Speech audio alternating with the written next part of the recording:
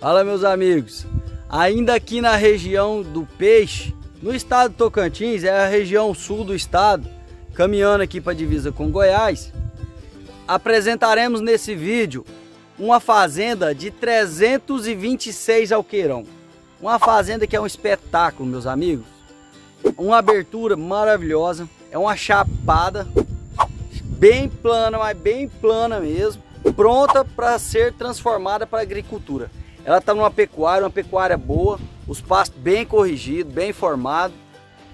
A fazenda é puro barro, é um barro amarelo de ótima qualidade e com certeza é uma região excelente para você implantar um projeto na agricultura.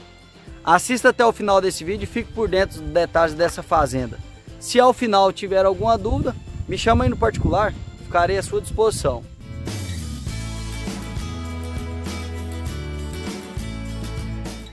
Essa fazenda, ela tá ali na região sul do estado de Tocantins, a região ali da divisa com a Bahia. É uma região que majoritariamente a pecuária predomina por ali. São terras onduladas, terras com presença de, de uma pedra-fogo, que nada atrapalha para a pecuária.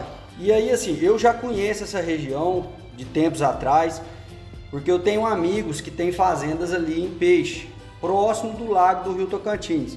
Então já fui pescar por ali, já fui ver alguns projetos. Agora nessa viagem surgiu essa oportunidade de filmarmos essa fazenda que está sendo disponibilizada para a venda aos senhores e eu não sabia o que, que eu ia encontrar.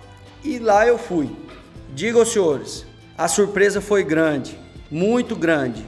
Uma chapada plana, topografia extrema, extremamente plana. São 17 quilômetros do asfalto até a fazenda. Uma estrada padrão da região, uma estrada boa, toda cascalhada, calçada com essas pedras ali da região. E aí você vai vendo as, as fazendas onduladas, você vai vendo as fazendas características da região. Você fala, poxa, como que eu vou encontrar uma fazenda de agricultura ali na frente? Meus amigos, quando eu cheguei na fazenda, eu me surpreendi. É fazenda de puro barro, não tem pedra, puro barro, é um barro amarelo. Para quem conhece de árvore, vai ver os piquezeiros, piqui de grande qualidade, baru, sucupira, madeiras nobres, características de terra de cultura. É um barro forte, meus amigos. Não é terra arenosa e não é terra com pedra. É puro barro. Topografia plana e altitude na casa dos 450 metros.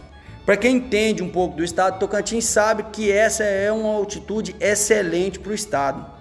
Então é uma chapada ideal para um projeto de agricultura.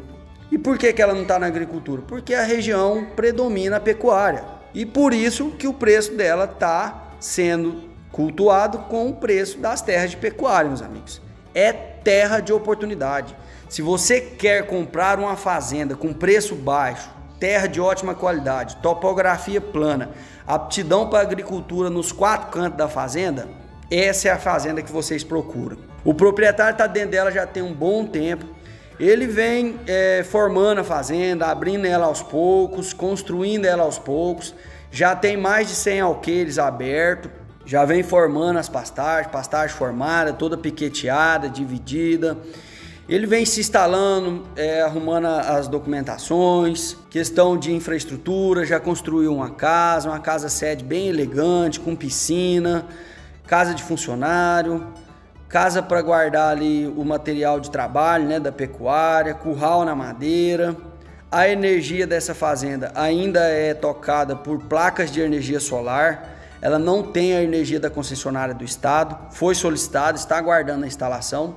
Se você chegar e quiser instalar a energia da concessionária, tranquilo, é só pagar o investimento e levar a rede até a fazenda. Mas por hora ela está indo muito bem com as placas de energia solar. É uma fazenda que ela tá precisando de um investimento pesado para fazer a abertura total dela e para colocar ela no prumo da agricultura. Mas como fazenda de pecuária, ela está excelente, excelente, meus amigos. É fazenda de oportunidade, preço baixo, ótima qualidade, ótima localização, região ainda não dominada pela agricultura, que o senhor sabe, se tiver agricultura na região, o preço não seria esse. O preço na descrição do vídeo. Você vai ver um lugarzinho aí que vai ter ler mais ou saiba mais. Você lê, clica nele que você vai ler a descrição do vídeo e vai ver o preço lá embaixo. Mas se ficar alguma dúvida, vou deixar o link do WhatsApp da nossa empresa aqui na descrição desse vídeo também. Vocês podem me chamar, falar comigo diretamente que eu vou falar para vocês o preço dessa fazenda, tranquilo? Falando da região, a fazenda ela está na região de Peixe, sentido Paranã ali na próxima a São Valério. Tem uma rodovia que liga o, o município de Peixe a Paraná. Ela está por ali na região próxima a São Valério. Distância da cidade de Peixe 100 quilômetros de natividade, que é onde está o calcário. Natividade tem a mineradora de calcário e o calcário você vai comprar direto na mineradora, 130 quilômetros. Uma logística tranquila, bem tranquila. Quer levar a, a sua soja para armazenar onde? Em peixe, 100 quilômetros de distância. São Valério também tem um secador.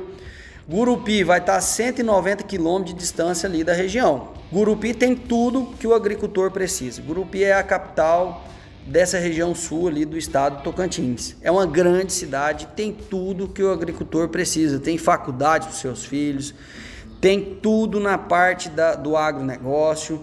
É uma cidade excelente para se viver. Enfim, a fazenda está muito bem localizada. A gente sabe que existe um estigma que paira aí para quem não é do estado, né?